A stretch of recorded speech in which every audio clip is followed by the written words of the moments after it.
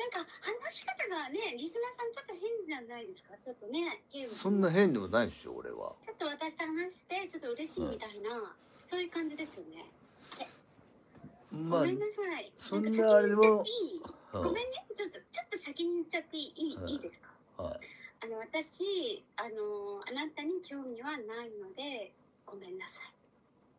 それは別にいいけど、はい。うん、彼氏できたの？それで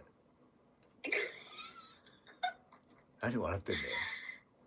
いやまあそれはでもほらまずねじゃああのみ皆さんほら圭吾君から聞きたいと思うんで、ね、俺はできてるわけないだろ。圭吾君はあの彼女いますか？いないよ。好きな子は言ってるじゃん俺は。あれ？あれ昭恵さんは？あ消えたんてもうとっくに別れてる。もう15年ぐらいあ経ってるよ。のあれだよ。ええ空想の方だよね昭恵さんで。秋江は本物だよ。本当にいるよ、あごめんなさい。うんそうか私ねちょっとたびたびねちょっと失礼なこと言っちゃうね。ごめんなさい。あの空想の方ではないですよね。何？本当にいらした方。いたよ。だからもうあれじゃんめぐちゃんっていうなんかめぐみ？っていうなんか占いして同級生さ俺の小学校からの同級生？あきえちゃんは中学からだから、うんめぐみさんそうそうはいではい知ってる知ってるしって言ってそれではあの占いの時に話してもらってるじゃんだから別にそんな。あそうなんだ。今は好きな人はいないってこと？いるよ、なんか。いるの？うん、お誰誰誰？このティック。もう名前も知らないけどね。え この子。わかんない。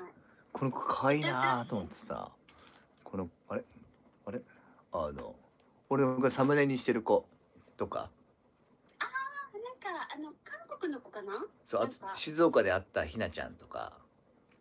あー知らないけど。あそうなんだ。そう今でやっと夢は育て中みたいな。それで？そうテレパシーで育ててるから。あそれで？そう有里リエとかねあのその辺は育ててる。育ててるってすごいね。あもうすごいもうねあの王様みたいな言い方だけど。あねでもねでもモテそうですもんねあの圭吾君。でエメエメね。あのオケイとエメのエメも関西にみたいなさ。ちょっと断ってる。エメエメうん。エメエメちゃん。エメラルドグリーンのエメちゃんね。じゃなくて、となんかでもハーフっぽいよね。うん。なんか。リアリアルリアルちゃんとかね。リアルさんとか。うん。あとは。あのアイリーン来るからな8月ね。違う違う。あのアメ